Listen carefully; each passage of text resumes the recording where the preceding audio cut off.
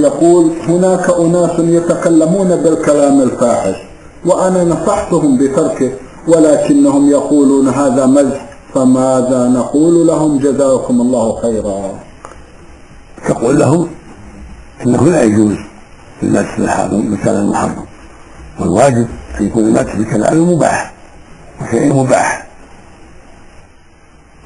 مع قلة مع قلة المدح أما أن يمدح باللعن أو بالشتم.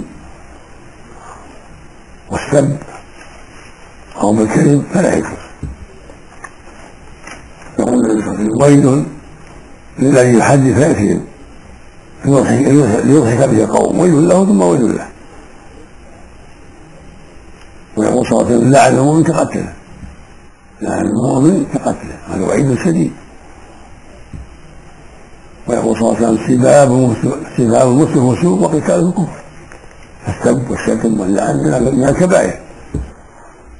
لأخيه الذي لا يستحق ذلك نعم.